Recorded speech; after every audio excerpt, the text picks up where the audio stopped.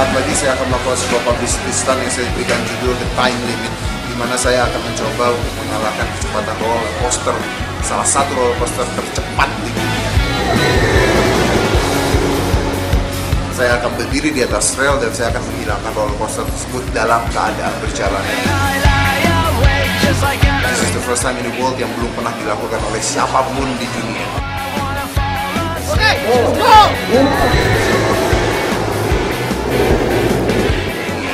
Anda ingin lihat seperti apa?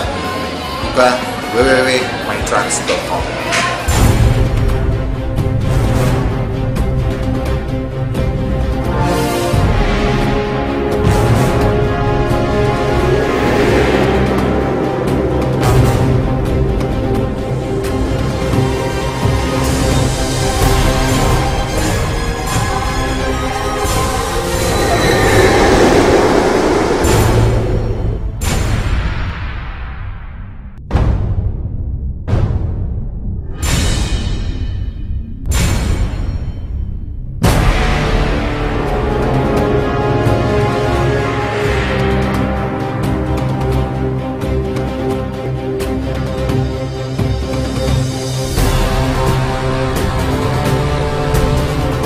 Anda sudah